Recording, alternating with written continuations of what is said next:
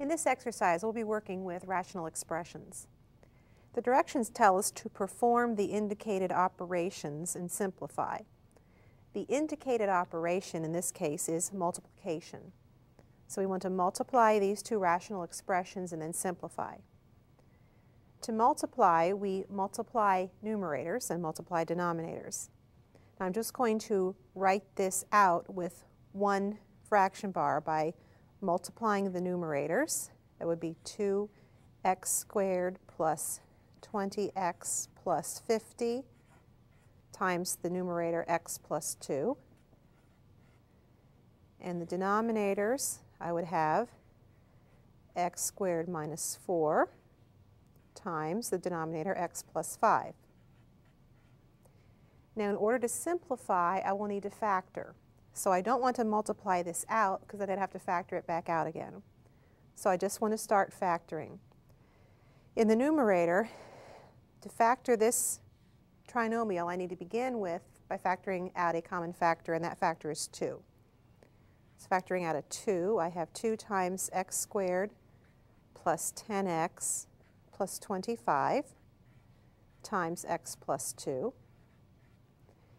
In the denominator, I have x squared minus 4 as a difference of squares.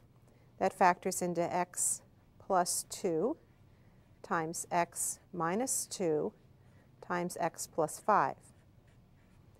Now I examine each of the factors and I note that this trinomial is a perfect square trinomial. I can factor it further.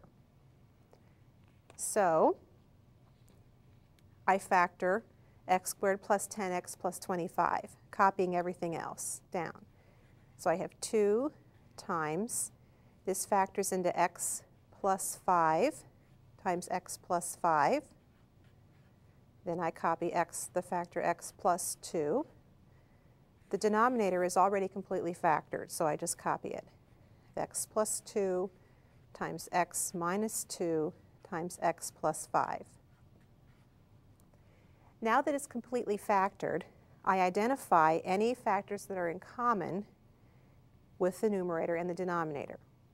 There is a factor of x plus 5 in the numerator and one of them in the denominator, so I can cancel them. That's the same as removing a factor equal to 1. There's also a factor of x plus 2 common to the numerator and the denominator, so I can cancel those. There are no other factors common, so I write as my final answer the factors that are left in the numerator, 2 times x plus 5, over the one factor left in the denominator, and that is x minus 2. There's no reason to multiply out the numerator.